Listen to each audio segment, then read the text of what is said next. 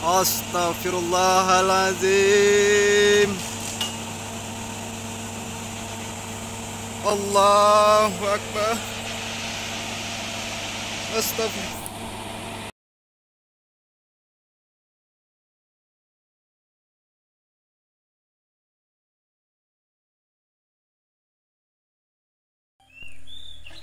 Baik sahabat youtuber Jadi beginilah penampakan uh, Kondisi ekskavator Begini.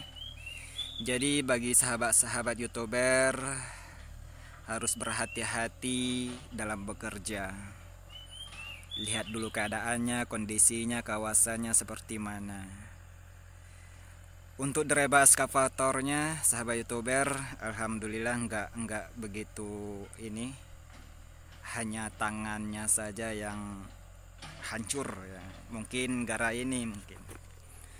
Tangan dia kejepit sama kayu getah kayu karet ini.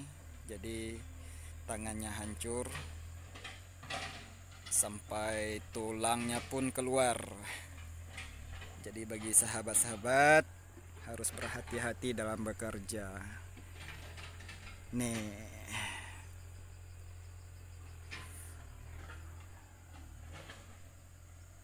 Drebanya sudah dibawa ke hospital, ke rumah sakit untuk dirawat.